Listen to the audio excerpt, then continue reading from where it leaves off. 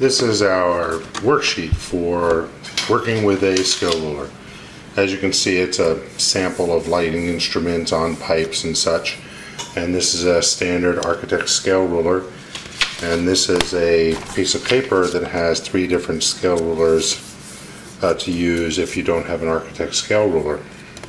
And this is available uh, online. See the description for the links. So, now the worksheet here, we have several lighting units. We have uh, several lighting pipes. We've got the number one electric here. One, two, goes to number three, four. Here you're going to use your half inch scale. Here you use your quarter inch scale. Um, we're going to measure the distance between the lighting units. I'm going to put the date and your name. A couple of questions to answer right there and then a column to fill in the quantities of the lighting units on this little sample light plot. We have a key here, and these symbols tell us what all these symbols mean here.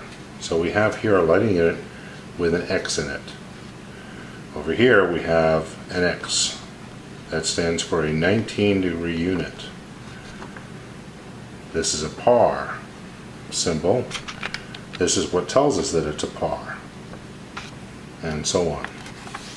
The lighting units are numbered from right to left because when we're dealing with a plot we deal with from stage left to stage right. So this is 1, 2, 3, 4, 5 and so on.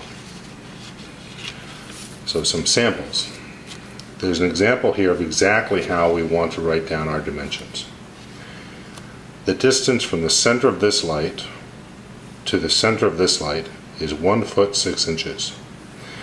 Now the dimensions are always measured from where the C-clamp is to where the C-clamp is, or center to center on a standard unit that has a single C-clamp.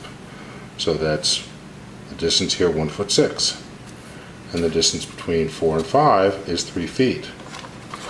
This is in half inch scale. We use our half inch scale there. If we put our scale ruler here, we put the zero here at the middle of our lighting unit number 5, we'll see that over here in the middle of number 4 is 3 feet. 0, 1, 2, 3 feet. So the distance is 3 feet. This one, we move this over, put 0 in the middle of the fourth unit, and the middle of the third unit is 1 foot 6 inches. 1 foot 6 inches. So if we take the example on a different pipe, we're going to move to the quarter inch symbols. You see how these are much smaller than these symbols. They're actually half the size. This we're using our quarter inch scale ruler. And in this case, we're going to use our quarter inch scale. So I'm going to fold the piece of paper and lay it down right here. And measure the distance between this unit and this unit. If I put it at center, got one, two, three, four, five, six feet. So we're right here, six feet dash zero inches. And if you forget how to do this, there are examples on the sheet. Now these are also positioned at distances, this is three feet. But you'll notice that this is three feet, but so is this one. So the distance between these two is 3 feet in half inch scale, and the distance between these two is 3 feet in quarter inch scale. So if we take a quarter inch, put it here between these two lines, which is for these two units, we have one, two, three, four, four feet six inches distance using our quarter inch scale rule here, we have a 0, 2, 4, 6, which means that this is 1 foot, 2 foot, 3 feet, 4 feet, and so on. So here, if I lay this right down here, distance from this light to that light, and move it up to these reference lines there.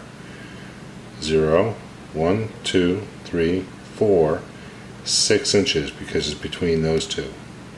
Or more accurately, if I move it over to the left and I line up the four feet to this mark, go four, three, two, one, zero, and then we use the small lines here, and right here in the middle is the six inch line.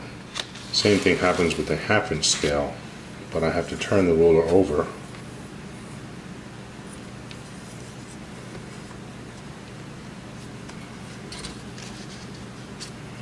Here we've got zero, one foot, two feet, three feet. For here, we put the one foot mark here, zero, and then six inches because it's right in the middle of here. And that's how we use our scale ruler on our worksheet.